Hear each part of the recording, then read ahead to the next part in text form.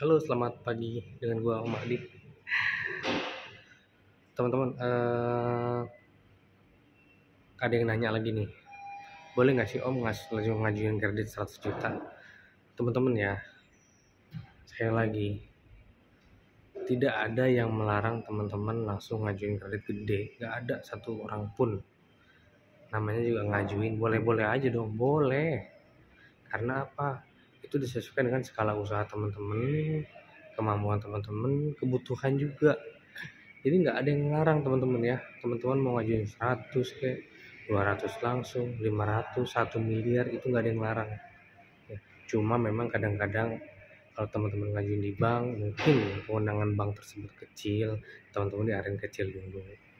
Makanya kalau memang mau gede langsung, eh, kalau bisa kalau bisa nih ke cabang besarnya, jangan ke unit kecil. Karena kalau di unit kecil kewenangannya kecil, sehingga teman-teman akan diarahin kreditnya ke kecil terus, nggak bisa gede langsung. Kalau di BRI teman-teman ngajuin ke cabang, BNI juga sama.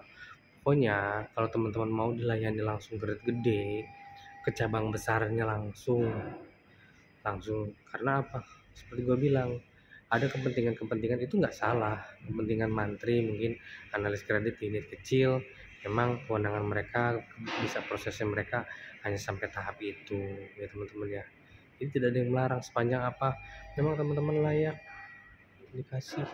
Misalkan karena usahanya memang teman-teman struknya bagus jadi aman-aman aja teman-teman ya. Jadi jangan khawatir apalagi yang nanya itu misalkan 100 juta kasih rumah. Eh mau banget bang tuh 100 juta dikasih rumah. Menurut gua tapi sepanjang usahanya mumpuni ya. Jangan jadikan patokan jaminan itu jangan jadi patokan.